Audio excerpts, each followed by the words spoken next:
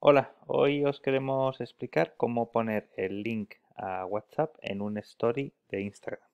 Esto es como muy sencillo, pero bueno, eh, hemos hecho un vídeo eh, directamente con el móvil para que lo podamos ver y ir paso a paso. Entonces, nada, vamos a Instagram, abrimos un story, seleccionamos la foto, por ejemplo, vamos a hacer un, vamos a suponer que somos un negocio local, queremos hacer un story donde la gente pueda pinchar e ir a nuestro WhatsApp. ¿vale? Ese, es el objetivo. Tenemos una oferta, tenemos una promoción, tenemos una novedad, lo que sea. ¿no? Entonces aquí, cuando hacemos el story, tenemos que pinchar en este icono de aquí arriba, el de los stickers, que es donde podemos crear un link. Entonces pinchamos ahí.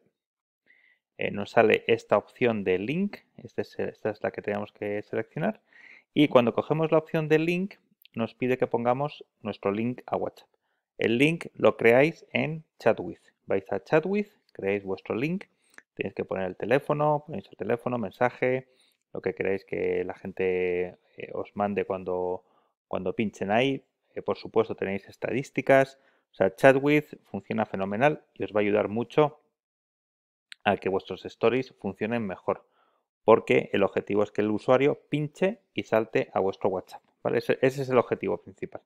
Entonces tenemos nuestro enlace, lo ponemos, aquí veis mi enlace por ejemplo, Este es el enlace que yo me he creado, o sea, vas a Chatwith, lo copias y aquí lo pegas y ya está. Y ahora eh, esto ya aparece aquí como un botón, ¿vale? O sea, lo que hace, lo que hace Instagram es ese sticker, lo convierte en un botón y lo ponemos donde queramos mejor en nuestro story. Lo ponemos por ahí abajo, lo que sea. Eh, creo que ya está. Aquí estaba buscando otras cosas, pero aquí nada. Luego le ponemos un efecto a nuestro story. Bueno, aquí hacemos ya un poco lo que sea. Y compartimos. ¿Qué ocurre cuando alguien abre nuestro story? Pues que lo ve así de bonito. Tiene ahí su botón. Y cuando pincha, salta a WhatsApp. ¿vale? Es un link directo a WhatsApp. Es decir, aquí el usuario pincha, ¡pum! Eh, conversación. ¿Cuál es el objetivo que buscamos? Tener esa conversación con un cliente que el cliente nos diga qué necesita, qué busca, qué lo que sea.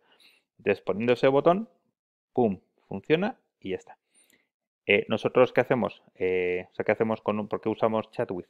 Porque tenemos estadísticas, podemos crear varios enlaces. Imagínate que tienes varios stories.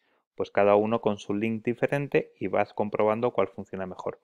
Puedes personalizar el mensaje de entrada. es decir, aquí en este mensaje que usa el usuario para empezar la conversación, tú ya le puedes decir, dime tu nombre, dime cuándo quieres venir a verme, dime qué necesitas.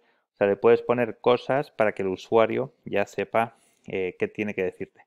Entonces, bueno, son cosas para que hacer, hacer un poquito mejor ese enlace, para que el enlace de WhatsApp sea un enlace lo más, lo mejor posible, ¿vale?